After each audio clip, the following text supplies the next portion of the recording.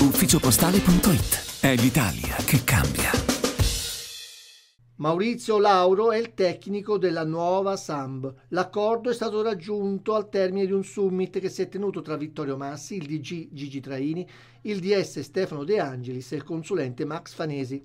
È bastato poco affinché il tecnico ischitano, ma residente a Grottammare, trovasse l'accordo con i dirigenti del nuovo sodalizio Rivierasco accordo che sarà ratificato ufficialmente in Lega dopo il 30 giugno, giorno in cui scade il contratto che lega Lauro all'Alessandria, club che ha portato la salvezza in C dopo i playoff col San Donato.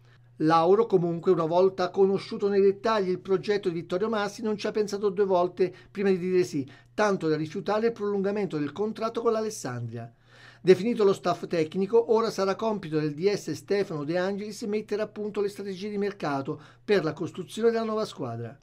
A questo punto si attendono anche le contromosse di Roberto Renzi. Ad oggi tutto tace a Roma con il patron rosso-blu che punterebbe sempre alla cessione del sodalizio del Riviera delle Palme ma il Tribunale di Ascoli Piceno ha fissato al prossimo 4 luglio l'udienza relativa al pignoramento delle quote sociali della SAMB da parte della cooperativa romana Gruppo Tempo, che vanta un credito di 224 mila euro con la Garigliano SRL, società che ne controlla il 90%.